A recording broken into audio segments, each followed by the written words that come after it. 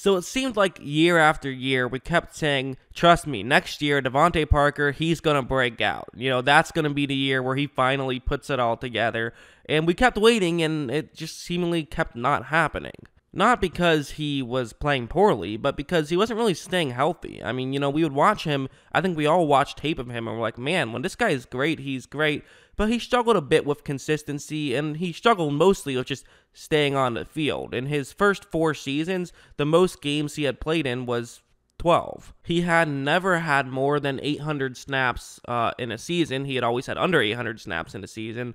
Uh, but he finally had 905 snaps last year, and it was very fun to watch as he really showed that he can be successful throughout large periods of time in a football game. One of the things I do like about him is his route running. Uh, I do feel like his route running is underrated. That's not really something people talk about with him, but his route running can be very good. And this is an example where it's going to be a go route. It's a one-on-one matchup. There is a safety deep, but but just one safety deep. So it's essentially a one-on-one matchup. Uh, and what's going to happen is that right when this ball is snapped, he's going to just so subtly, slightly move closer towards the middle of the field. And in doing this, it's going to get that uh, Buffalo defender to sort of suspect that that's where he's going to be going. You notice how his hips are kind of opened up in that direction. He's expecting this to basically be a run over the middle. He's expecting this to be some sort of a slant route. Uh, and so he's wary of that, especially, uh, you know, slant routes against this type of coverage are not the worst thing in the world. But then he's going to basically just fake as though he's going in that direction and then run deep, and he just completely burns his assigned man and is able to get a huge gain. And that's really what Parker mostly excels at is those big plays. He's going to get you chunk plays. He might not necessarily be uh, a Jarvis Landry type where he's going to get 100 catches year after year, but he's going to get you some big catches, and that's what's uh, what, what's really valuable with him. I think this next play will probably show, well, it'll show a lot actually. I'll, I'll show the play and then I'll talk about it and the importance of it. Uh, it's going to be similar to the last play. It's going to be a one on one matchup. He's running a deep route. There is a safety deep, but uh, notice how right after the ball is snapped, the ball is going to be thrown in his direction, and he's not really open. I mean, there's very little separation. There's basically no separation. So you would think this is a bad uh, throw to make in some areas, but it's not going to be. Parker leaps up, makes the catch, and stays on his feet and gets into the end zone for a touchdown. I mean, that's a Madden level play. So, okay, I mean, fantastic play, right? Sure, whatever. But who cares? You know, we all know that, uh, at least at this point, okay, so he can make a great play. He's a great player. But there's more to it than that. I think part of the reason why, e- even when he was healthy, he wasn't getting as many big games was because guys weren't throwing him these types of balls. And I think it really wasn't until Ryan Fitzpatrick, who is fearless, was kind of giving him those opportunities. Could we really see, oh, that's actually a good decision because he can make a lot of catches in those tight contested areas? I mean, the reality is you didn't really see him come into his own until it it honestly probably was week 11 against Buffalo, the first game I showed you. Uh, that was really the first game he kind of uh, you know came into his own. He had 135 yards. He didn't have a single game of over 100 yards prior that season but he finished the final seven games with four games of over 100 yards. And a large part of it was Fitzpatrick just saying, hey, I'm going to keep throwing it up to you, and you keep catching it. Well, you know, we can make this work, and we can make this work pretty well. Like this plays, and it's, it's just an insane example where it's going to be, it's a cover three zone, but, you know, uh, because of the, the situation, it's they're playing very far deep. It's a third down and 13 right here. Philadelphia just trying to not give up the first down. And Parker, he's just going to run deep. That's just kind of his idea, is they're just going to send him deep. So he runs deep. Fitzpatrick looks in his direction. He's just going to, you know, fire one and send a prayer. And it's going to be answered as Parker leaps up and makes the catch. And it's kind of hard to see from that angle. I'll show the other angle where it actually is going to show a pretty good example of what exactly happens. Where, again, you know, Fitzpatrick, he steps back, he takes a hit, but gets the ball off. And you look how Parker just kind of uh, boxes him out right there. He just has great vision for the ball and is able to make the catch. And that's really what it comes down to. It's not because he's taller. Yes, he is six three, but there's plenty of guys who are six three or taller that are in the league, you know? Uh, Mike Evans is six five. Julio Jones is also six three. I think Parker's a better jump ball receiver than either of them. Honestly, I really do. And uh, I think the tape backs that up.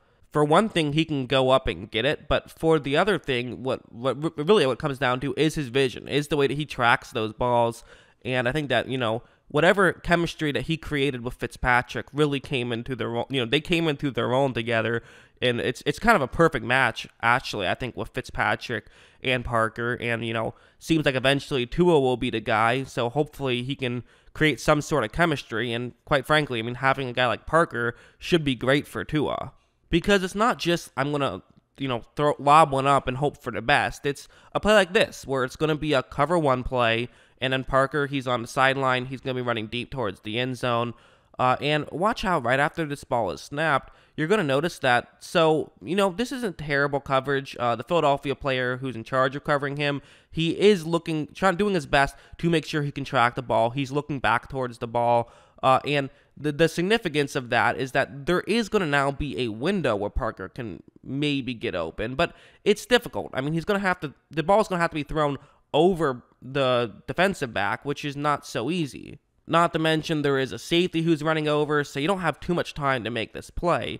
But this is going to be, at first, it looks like it was just a great throw, but it's not necessarily that. There's actually a much bigger window to make that throw because Parker can go up and make that kind of catch for a typical receiver, you only have maybe, you know, uh, a foot to try to, you know, of room to try to make that throw with. But with Parker, you have like a full yard worth to try to make that, uh, you know, throw through because he can go up.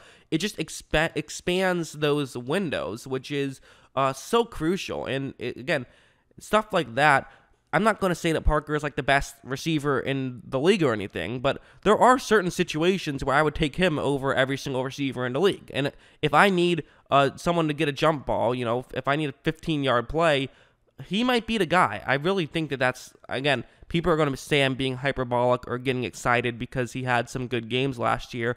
I don't think so. I think this is this is who he is. And again, you know, his route running isn't as good as some of these top tier guys yet. Maybe he can get there, but as a whole, I mean, uh, again, I'm not trying to say he's only a jump ball or deep threat receiver, but he just does those things so well. It's so much in his wheelhouse that uh, that's what makes him, in my opinion, a true number one guy.